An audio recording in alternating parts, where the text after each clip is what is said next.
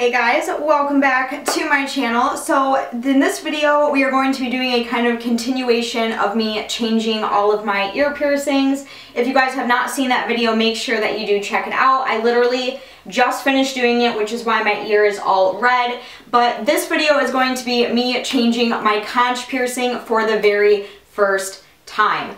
Now, I wanted to make this video separate from changing all my other ones just because this is my newest piercing and I really wanted to film my reaction for changing it for the very first time. So that's kind of why they were separate. I know if that doesn't really make sense to some of you, it makes sense to me and it's kind of like a thing that I've always done here on my channel. So that is what we're going to be doing today. I am super nervous and I'm already a little angry because I tried for literally 15 minutes to try to get the ball on the lower part of my rook piercing and I cannot get it to save my freaking life. So I'm going to have to try later to get the ball on that one. But other than that, everything went great. So I'm hoping the conch piercing, you know, switch out goes a lot smoother. I'm really, really hoping that it does. So basically, this is what the conch piercing is, this really, really long jewelry that you're seeing in here.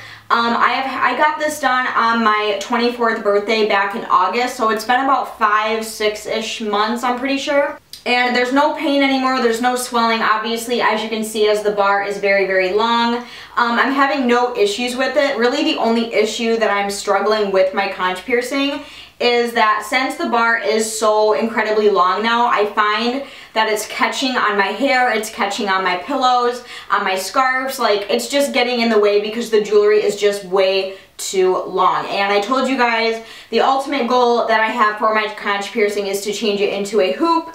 Well, I finally found one. It is the exact same gauge. It is a 14 gauge and it kind of looks like this as you are seeing right here. This is just a 14 gauge um, matte black CBR ring and I got this from my mall at Extreme Body Care or Extreme Body Gear, I'm sorry.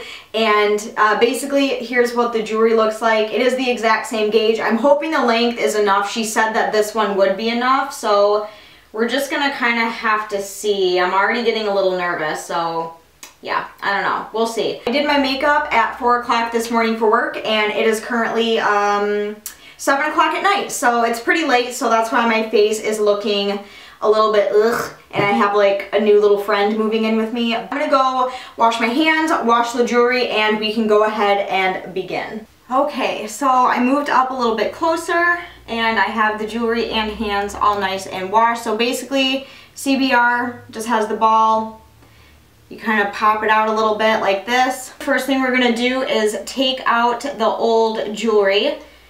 And I'm just going to take a tissue so I can get a better grip on the ball.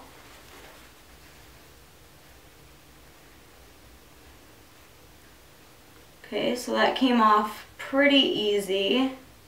I'm just going to tilt my head down this way so gravity will make the ball fall out of my ear rather than inside my ear. Alright, so I got the ball off. Um, my ear is going to be turning very, very red, but there's absolutely no pain whatsoever. So um, what I'm going to quickly do is take out my third lobe piercings just so I have more room to kind of mess around without running into anything. So what I'm going to do next is I'm just going to very lightly pull it out from the back like that. Again, absolutely no pain. So there's the barbell.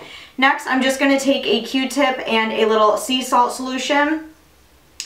And I'm just going to clean the inside of the piercing and the back of it as well. Just to kind of clean it up a little bit in case there was anything like trapped in there. Or, you know, if you have ear piercings, you know how it goes. And this also kind of helps lube up the area for when I do change my piercings. So I'm just going to get all in there, get it all nice and clean, and we are ready. Okay. So now all I'm doing is after I find the hole, I'm just very lightly, very carefully just feeding it through like that. Did it! Yay! This is going a lot better than my fucking rook piercing, oh, let me tell you. So there we go. We changed it. It is in there. Now, the hardest part, again, with these fucking balls is trying to get the ball over top. Now, I'm very sorry for how red my ear is. Nothing bothered me whatsoever. Um, I didn't even really feel it go through. So this is honestly, putting the ball on is going to be the hardest part. So what I'm going to do is the CBR rings, little balls have little grooves in them, as you can see right there a little bit. And what helps me the most is if I match one of the grooves up, the other one should just kind of pop right in. So that's kind of what I'm going to try to do here. Again, this is like ridiculously hard to do. I hate CBR so much, but they look so cool. So I'm just going to try to match the groove up. And then every time you think you have it, you don't. Like, it, it's awful. So we're just gonna keep trying this.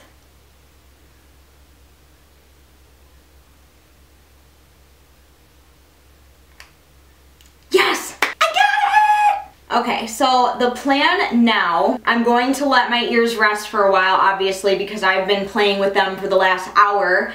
And so they're very, very red. Nothing hurts, nothing is sore, um, just red. So basically what the plan is now is since my conch piercing is still fairly new, as far as like cartilage piercings go, because they can take up to a year to fully heal, um, every day I'm basically just going to be sea salt, sea, oh my gosh, sea salt soaking it a little bit just to make sure that everything stays nice and clean um, while the new jewelry is kind of like settling in. There is the new conch piercing jewelry. That went way smoother than I thought it was going to go to be perfectly honest with you and I'm pretty happy with it. That is basically everything that I have for this video that is everything. So make sure to give a huge thumbs up. Don't forget to go down and subscribe to my channel. But as always, I will see you guys very soon in my next video. And hopefully I don't have this big ass zit because that's disgusting. Okay, I'm gonna go now. I love you guys. Bye!